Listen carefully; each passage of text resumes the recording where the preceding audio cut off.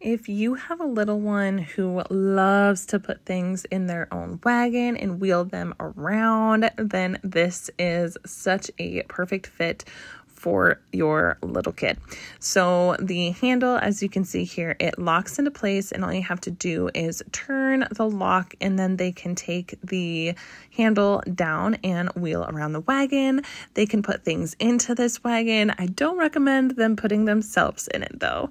This has been such a fun little creative outlet for our little toddler and we would definitely recommend it to you as well.